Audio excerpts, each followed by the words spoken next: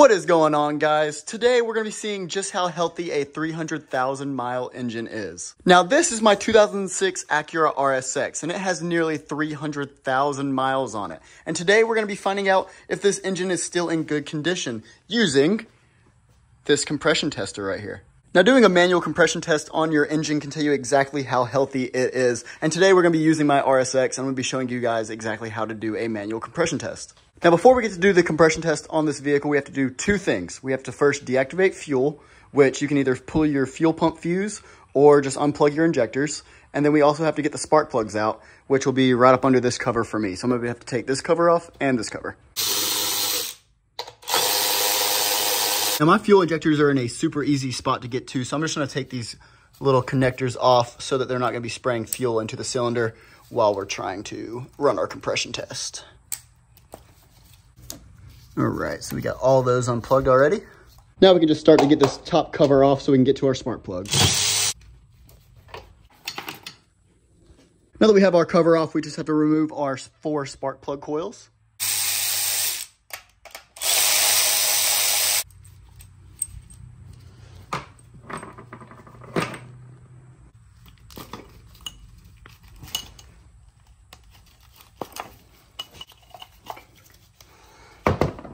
All right, so coils are out of the way. We're gonna just try to position the wiring harness a little bit out of the way.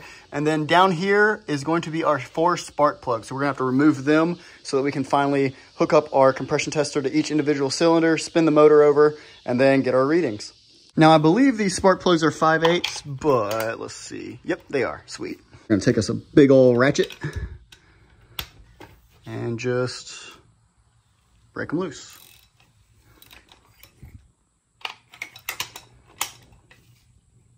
Now because I'm lazy, we'll let our electric ratchet do the rest.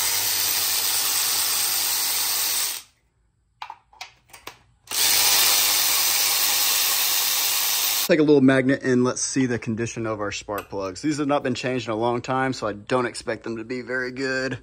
Uh, yep, spark plug looks a little burnt. Now let's see if it'll actually focus. There we go. Now here are all four spark plugs out of the car, guys. Now these haven't been changed in about 100,000 miles, so it's definitely time. But before we put new spark plugs in the vehicle, we're gonna do our little manual compression test. Now it's super easy to do it. You just gotta pick the correct little line to go in there, and this will thread exactly, we're gonna start with cylinder one.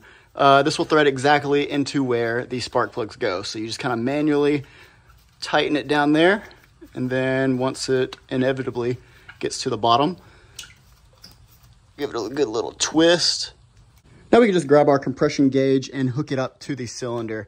Now this is the gauge that's gonna be telling us exactly how healthy our engine is. And now whenever you're doing a compression test on your own vehicle, you can look up the spec and the range that the cylinders are supposed to be producing on the gauges. For me, I don't really personally care because this engine is so old. I just really want all my cylinders to be around the same number so I know it's basically wearing evenly. It's also a good idea before you get started to grab a piece of paper so you can record your readings off the gauge. Now we have everything ready to go. I have the gauge kind of in a place where I can kind of see it from the inside of the car. So we're just gonna get inside the car, spin the engine over a few times, and see what the gauge says.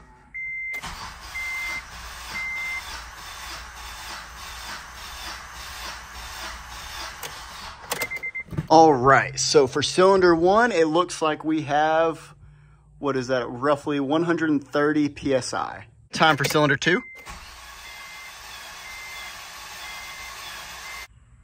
Uh, so I wish I was joking about this, but uh, cylinder two, it literally is reading zero PSI. So that's interesting. Huh. Well, on to cylinder three.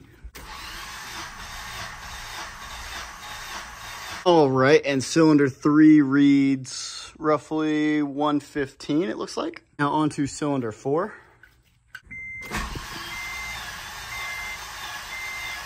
And cylinder four looks like it's going to also be zero. What? All right, so here we have our readout. So we got 130 PSI on cylinder one, zero on cylinder two, 115 on cylinder three, which is all right. And then cylinder four also has zero. Now I did a little bit of research and turns out I'm just fucked.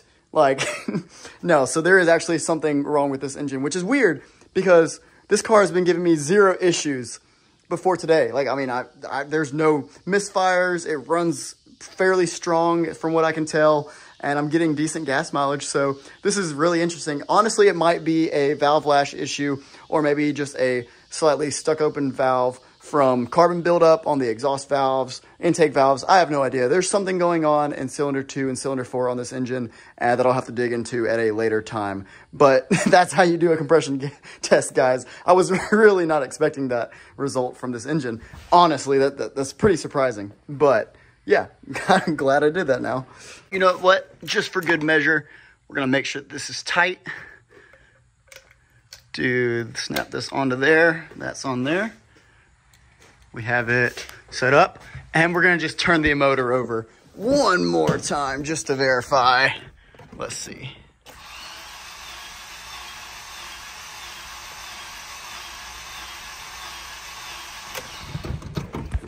Moment of truth, just so you guys know I'm not lying over here.